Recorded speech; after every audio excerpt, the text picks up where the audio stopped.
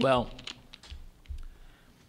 uh, I'll use the adjective interesting. That was an interesting game. So it was. It was. It, I'm so happy we won that game. Uh, we, we I don't think we played very well, uh, uh, particularly in the first half.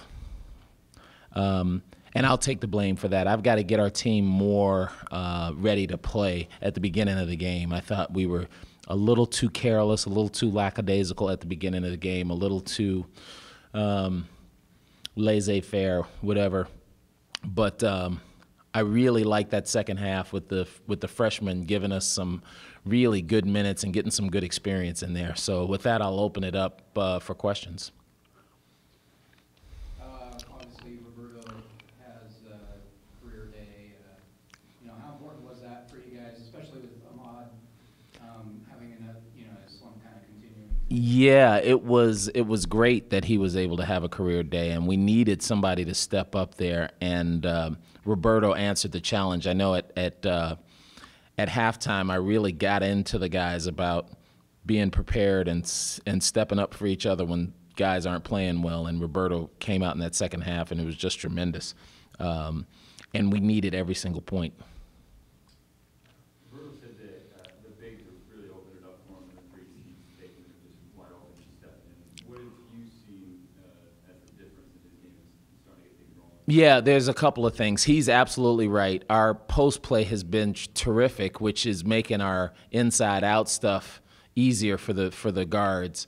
Uh, but I think what he's doing is instead of uh, trying to dictate the game, he's letting the game come to him, and and he's a terrific basketball player. And the really good players just sort of react to whatever's going on out there. So I don't know if he's more relaxed or if he's just used to playing uh, uh, the way we're playing. But you know, if I had to, to if if you put a, uh, um, if I had to make a, a, a guess, it would be that he's just letting the game come to him, and he's not trying to force it. When he doesn't force it, he gets so much more stuff.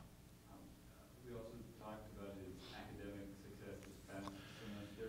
Uh, There's an apparent bet that has between you and Roberto. Yeah, yeah. Well, I, I better I better say that there was a gentleman's bet because I'm sure that if we were betting for real, we would probably get into trouble. But there was a gentleman's bet that he couldn't get a 3.0 uh, for the quarter. And uh, if you guys know Roberto like I do, that's how you motivate him. If you make everything a competition, then he thrives. And um, part of the reason why he's playing well is because he's doing extremely well in school. I I, I know those things are co- connected, uh, um, but he's uh, he's also given himself over. I mean, that's a term you've heard us use before. He's trusting what we have to say and what we have to offer as a staff, and he's letting he's really letting us coach him. A hundred push-ups for the bet. I guess, the gentleman, yeah. The gentleman's bet? No, no, no. It was uh, that it, it, it wasn't hundred push-ups, but I'm not going to say what the stakes were. It just just friendly stakes. Chicago State came out uh, really physical early on. Uh, Do you think, I I know you talked about having, to get your team prepared better, but uh, do you think they were surprised by physical? Uh, uh, our team? No, no. I thought Chicago State did a terrific job being ready to play a high major team. I thought we didn't do a, a good job preparing to be that high major team who's getting a, a team that's uh, a mid major coming into town hungry. I think there were a few a, a few instances where we thought this was going to be an easy game. We don't have to. We can we can show up half the time. And again, I say I'm I'm taking full blame for that. And and uh, but the physicality, I don't think that was it because actually we got them in foul trouble.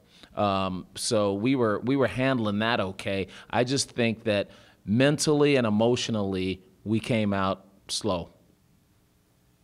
You talked earlier about Roberto letting the game come to him, and in the last four games, he's had, he's on a pretty good scoring stretch. Those, those co- kind of coincide? Oh, absolutely. Yeah, yeah. I think he is. Um, he's a natural scorer. I'll stay, say that first and foremost. He's a natural scorer, and there's there isn't a whole lot that you can teach him about scoring. All we try and do is put him in a better position to score, and then we try and put him in a state of mind where he doesn't feel like every single time down he's got to make something happen. Sometimes the best play is to pass it and cut through and then live to fight another day. Uh, and I think he's starting he's starting to understand that, and he's starting to accept it.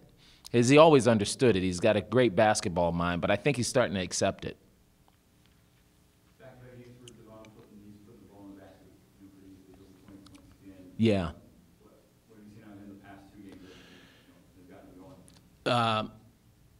his schoolwork has gotten better too. So um, I, I, for that'll be the first thing I attribute it to. Uh, the second thing is, I I really feel that Devon does better when he can kind of see what kind of game is going on before he gets in. So I think coming off the bench is helping him. He may disagree, but when you're as prolific in the low post as Devon is, if you if he's starting the game from this jump street, he's double teamed, triple teamed.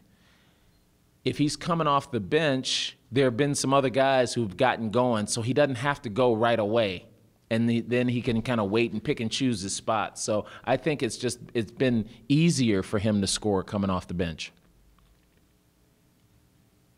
Uh, that dunk gave you a little scare there when he went up and Yeah, yeah.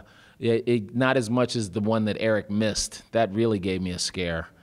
Um, but uh, yeah, when he came down funny like that, I th- I was thinking, ah, I hope it's not his knee.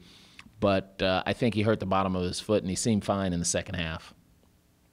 Uh, you mentioned the, how pleased you were with the freshmen coming in and giving you some good minutes. Uh, can you point out some? Yeah. Oh, yeah. Well, all of them ha- did did something positive. Uh, I was really happy that Jarmal was able to get some real good minutes because you know we start him for defensive purposes, and then once we get going, it's hard for him to get back on the court because we have so many guys who are putting the ball in the basket. But uh, he was able to get out there and show that he's got a, a, high basketball IQ. He was playing a lot of minutes in some critical spots, taking the ball out for us and making some really good passes. Uh, I thought Langston Morris Walker uh, made some strides today. He's a guy who's able to defend. He's just got to get used to. Um, making the right decisions on the offensive end.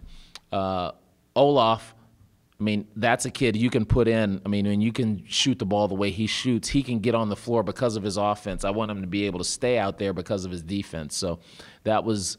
Uh, um, so he's got to work on that, but it was good to give him some minutes. And then Victor, Victor Robbins, who I think has been the slowest to get time, but I think eventually might be the one to thrive the most.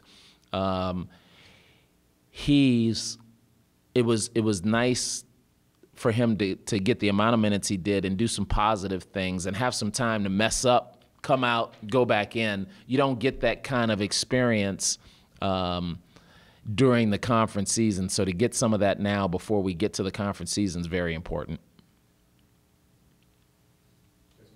That it? Great. Thank you very much.